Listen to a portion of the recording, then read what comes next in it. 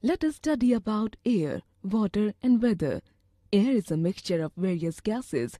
It mainly consists of nitrogen and oxygen. It also contains water. We cannot see air, but we can feel it when it blows. The moving air is called wind. A gentle wind is called breeze.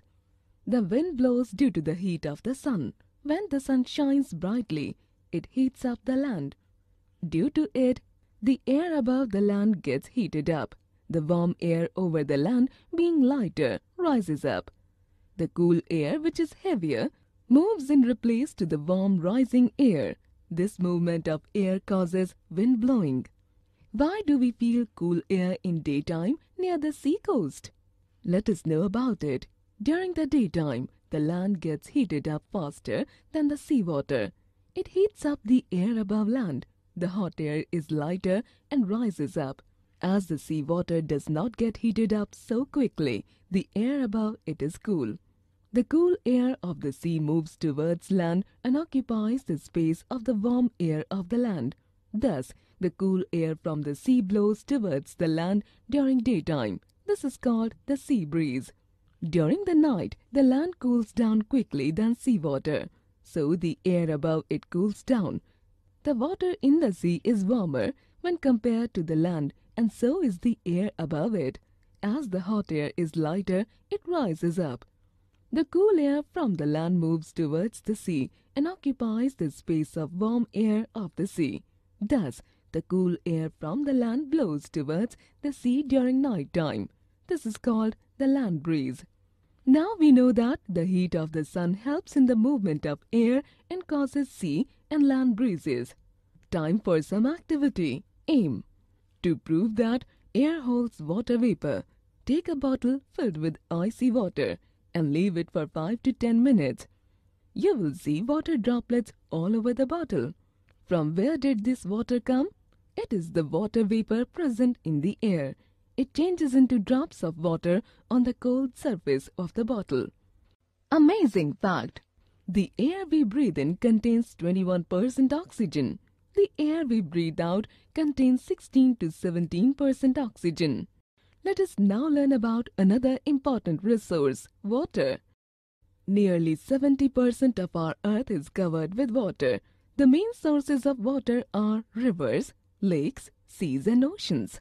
Most of the water is in the form of ice caps near the poles. Water is also present in air in the form of water vapor, clouds and underground. All living organisms need water for their survival. Water is not always safe for drinking. Many harmful substances called pollutants or microbes pollute the water and make it unfit for drinking. How can we purify water? Let us see. Water can be purified by following method Sedimentation. Impure water is taken in a beaker and is allowed to remain as it is for some time without disturbing. The impurities will settle down at the bottom of the beaker. The process of depositing sediments or impurities is known as sedimentation. Decantation. The clear water obtained by sedimentation can be transferred into another clean beaker with the help of a glass rod leaving the impurities at the bottom. This process is known as decantation. Filtration. To make sure that there is no mud or any particle. After decantation, water can also be filtered as shown in the figure. This process is known as filtration. Boiling. By boiling the water and then filtering, we can make it fit for drinking as boiling kills the microorganisms present in the water. Chemicals. By adding certain chemicals such as chlorine, potassium permanganate, etc., which do not harm us but kill the microorganisms present in the water, we can purify water to make it safe for drinking. Pure water is colorless or transparent. Pure water is odorless and tasteless.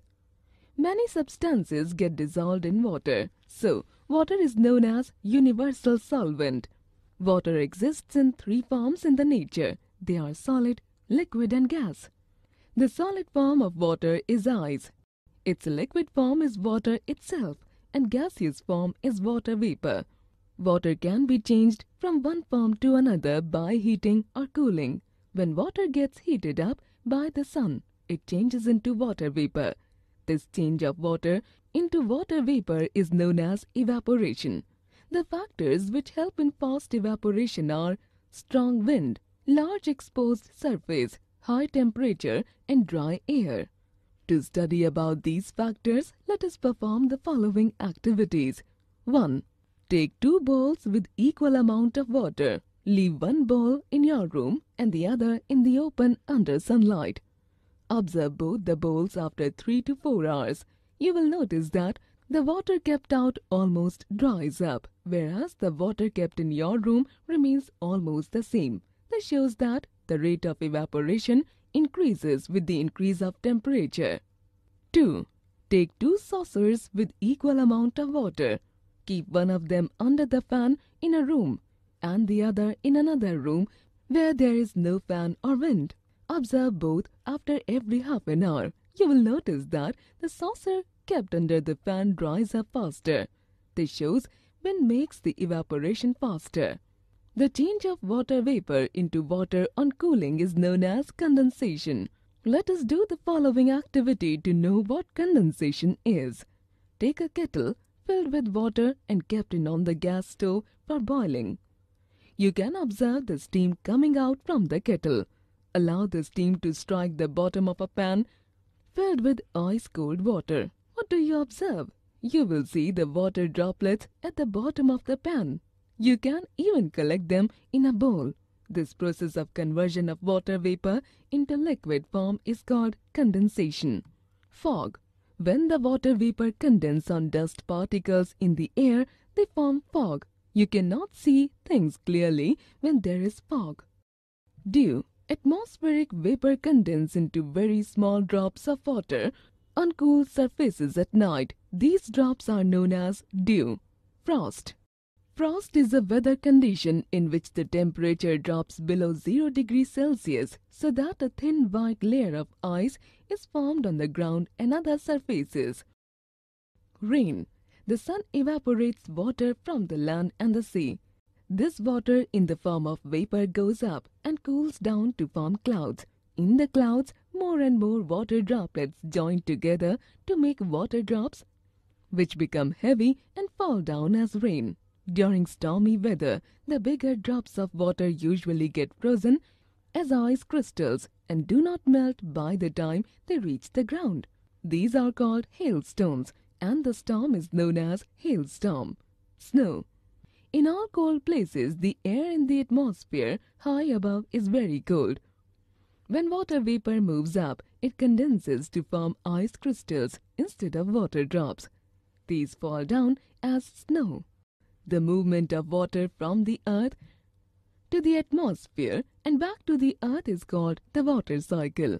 Let us study how the water cycle takes place in the following steps. The sun heats up water from rivers, seas, lakes, etc. As the exposed water becomes hot due to the heat of the sun, it evaporates in the form of water vapor. As hot water vapors are lighter, they rise up into the atmosphere. When the water vapor reaches the cold upper regions of the atmosphere, they condenses into droplets. These droplets group together to form clouds.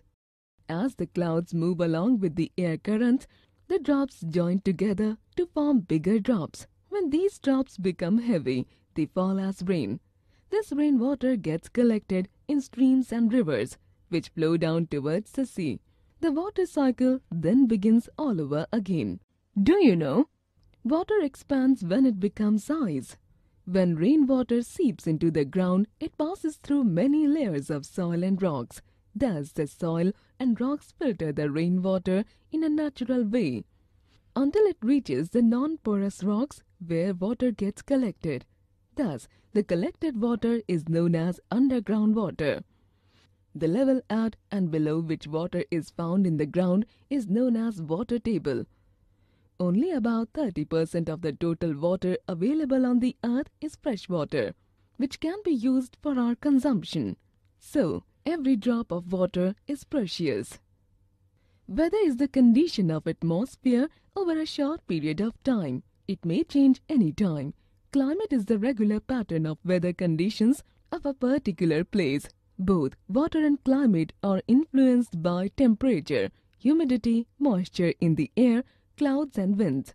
Let us summarize. Land and water get heated up differently, which cause land and sea breezes.